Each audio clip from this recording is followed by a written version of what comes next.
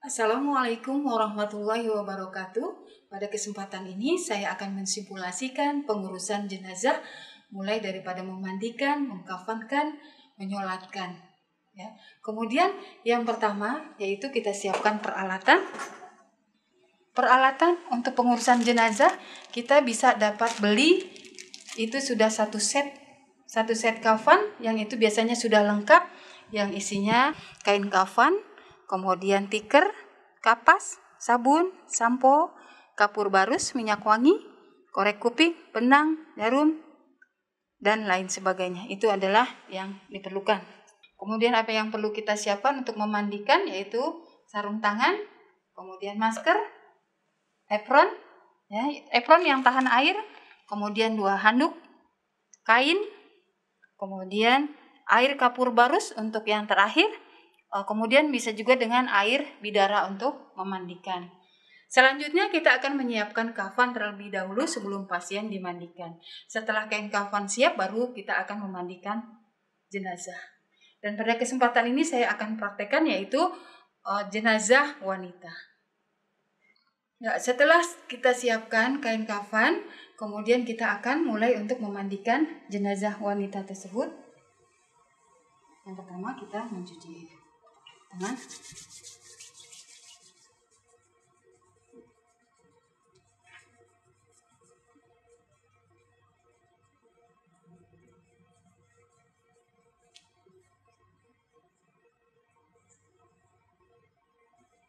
Kemudian kita akan memakai apron.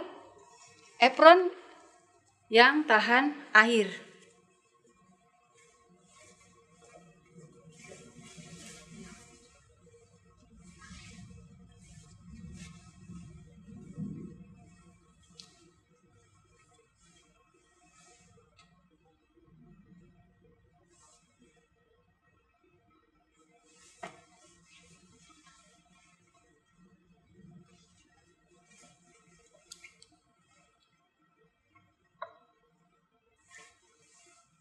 Kemudian kita pakai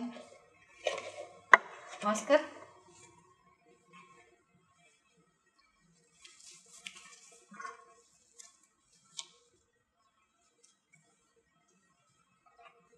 Dan pakai sarung tangan.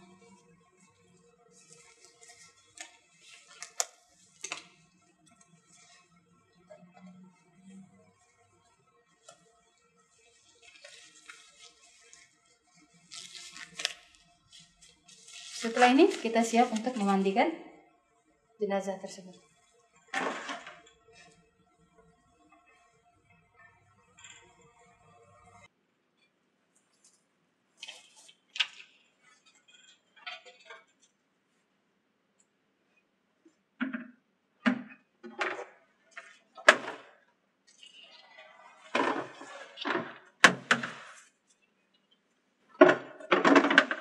Kita berikan privacy dengan menutup menggunakan screen.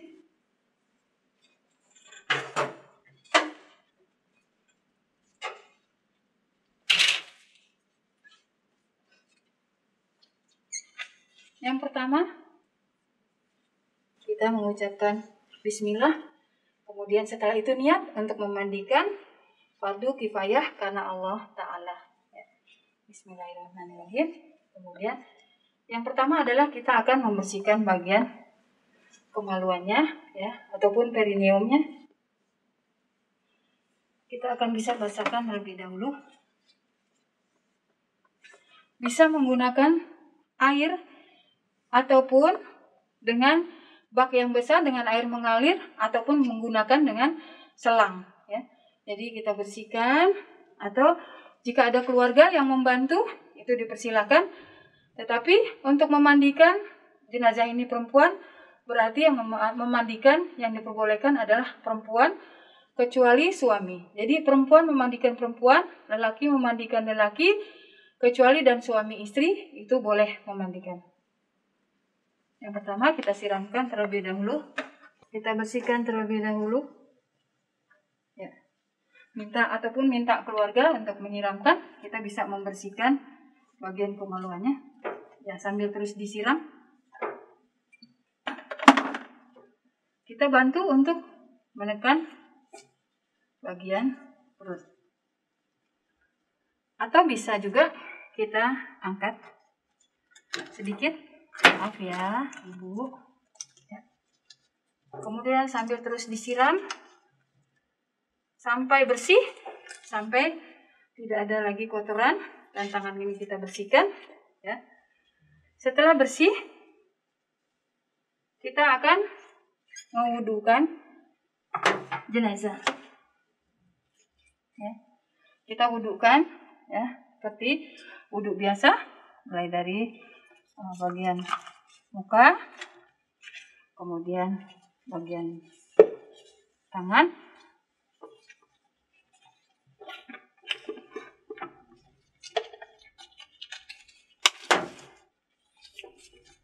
kemudian tangan yang kiri. Dan pastikan aurat tetap terjaga jadi tidak terbuka. Dan selama kita memandikan juga harus tetap terjaga auratnya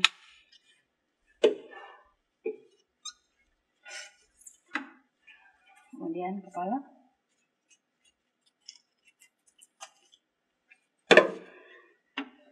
Setelah itu bagian kaki kaki kanan terlebih dahulu. Kemudian kaki yang kiri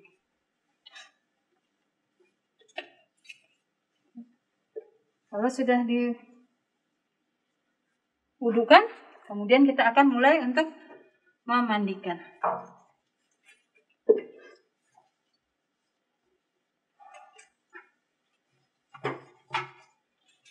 Nah, ini tutup untuk yang bagian jenazah wanita dari bagian ini, tetapi kalau laki-laki itu boleh sampai pusat ya.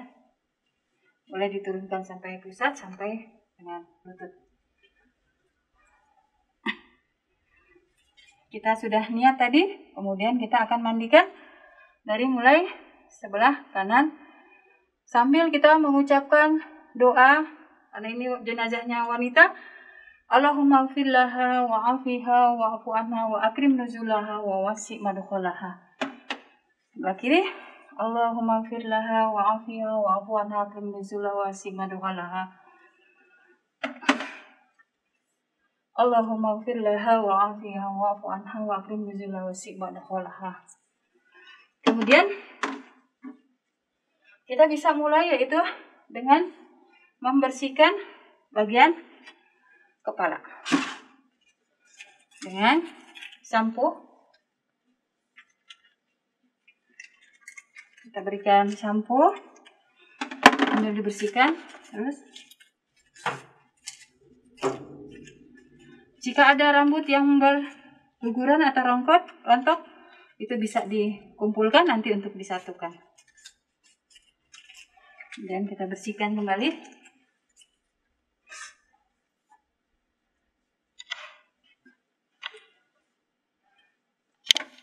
Nah, bersih. Kemudian kita bagian muka. Jangan memasukkan air ke dalam mulut. Kalau kita mau membersihkan bagian mulut, maka kita miringkan. Maaf ya. Kita miringkan supaya air tidak masuk ke perut. Mungkin ada kotoran ataupun sisa-sisa makanan yang bisa kita bersihkan ya. Kita bersihkan dengan menggunakan sabun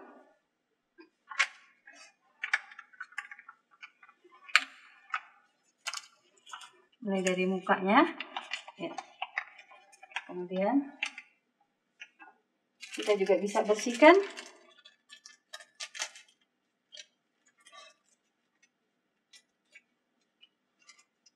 Bagian.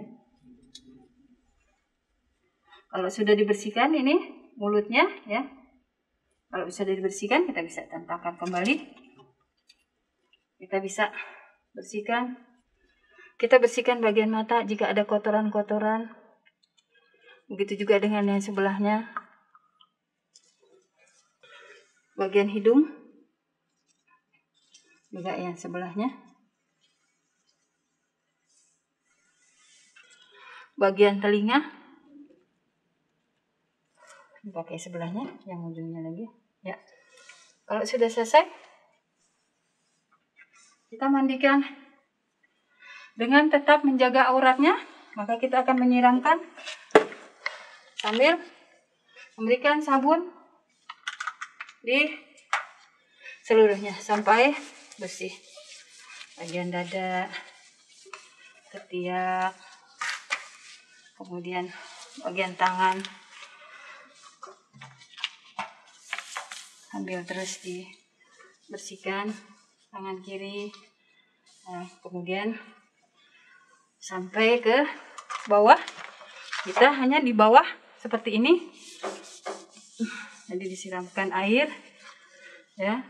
Tanpa tetap menja- dengan tetap menjaga aurat sampai ke kaki. Kemudian kita akan membersihkan punggung bagian oh, bagian belakang ya. Maka kita minta bantuan untuk keluarga untuk memiringkan bagian yang kanan dengan tetap menjaga auratnya. Ya minta tolong dibantu ya. Ya. Ini harus tetap terjaga auratnya. Silakan ibu dibantu untuk mencuci bagian belakangnya ya. Ini di belakang. Sampai disabunkan semuanya ya. Ini mencucinya dari arah dalam. Seperti ini. Oke, yang bagian sana untuk mencuci bagian sebelah sini. Kemudian untuk bagian sebelah kiri kita miringkan kembali ke sana. Ya. Dengan tetap menjaga aurat kita mandikan sampai suaminya bersih ya. Bisa menggunakan daun bidara ya. Kalau tidak ada bisa dengan air biasa ya. Kemudian setelah selesai sambil memandikan kita selalu mendoakan yaitu Allahumma firlaha wa afiha wa anha wa akrim nuzulaha wa wasi madkholaha.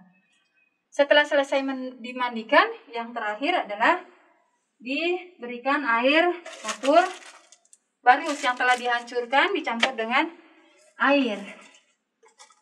Sambil kita siramkan. Allahumma firlaha wa afiha wa afu anha wa akrim nuzulaha wa wasi madkholaha. Setelah air kapur barus, setelah selesai memandikan, kemudian kita akan mengeringkan.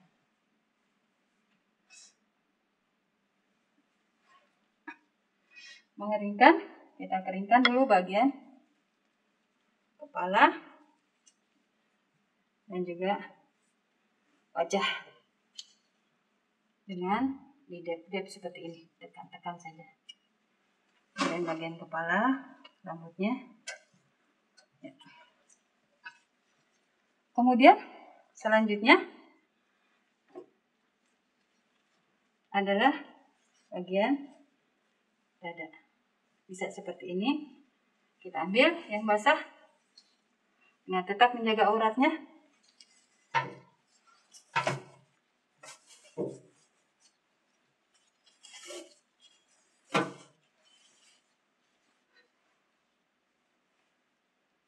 dengan tangannya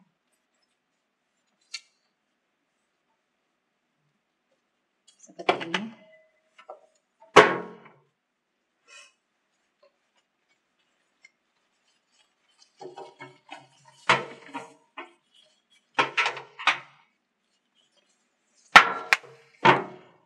Ya,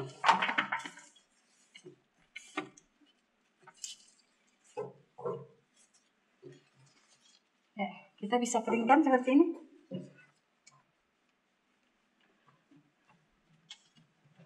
Ini juga. Ya. Setelah itu, kita juga akan keringkan bagian bawah.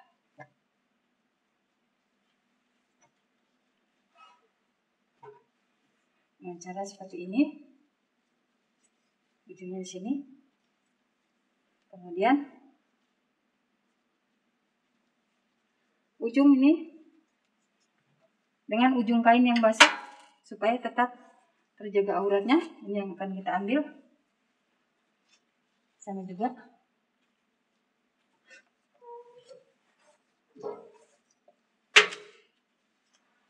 Ujung kain dengan ujung handuk agar tetap terjaga auratnya. Nah, nah ini kita bisa tarik sambil menarik kain yang basah.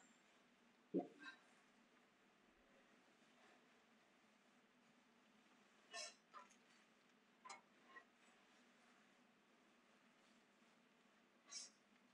Selanjutnya kita akan ganti dengan kain yang kering. Dengan cara seperti ini. Ujung kain ini kita letakkan di atas. Ujung yang satunya lagi kita ambil bersama dengan handuk. Ini juga.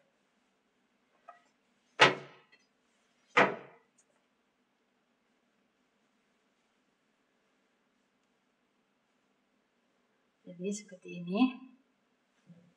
Kemudian handuk yang ini juga sekalian kita akan tarik.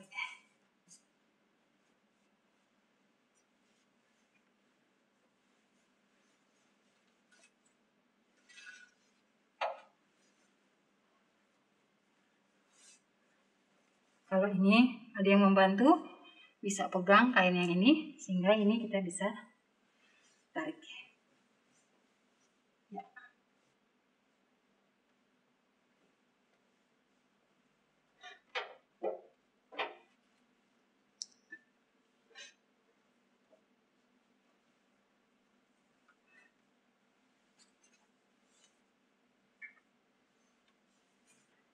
Setelah seperti ini, bagian belakangnya juga kita akan keringkan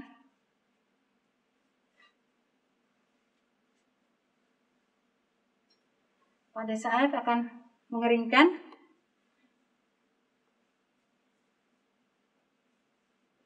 Kita lipat seperti ini.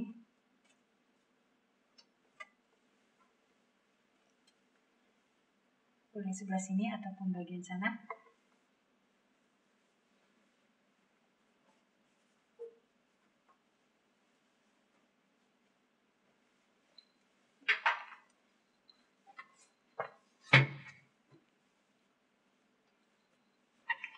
ya untuk dikeringkan.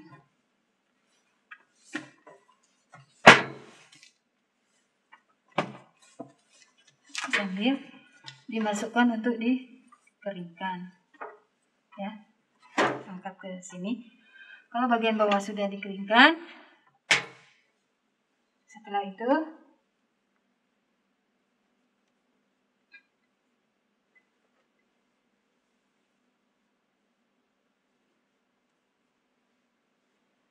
jenazah yang telah dimandikan dan telah dikeringkan.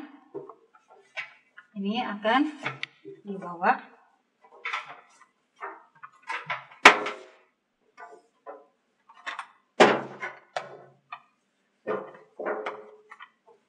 Ini siap untuk dibawa ke tempat kafan untuk dikafankan yang sudah kita siapkan sebelumnya. Demikianlah demonstrasi atau simulasi pada hari ini kita sudah belajar untuk memandikan jenazah wanita. Untuk selanjutnya kita akan lanjutkan dengan mengkafankan jenazah wanita. Demikian. Terima kasih atas perhatiannya. Wassalamualaikum warahmatullahi wabarakatuh.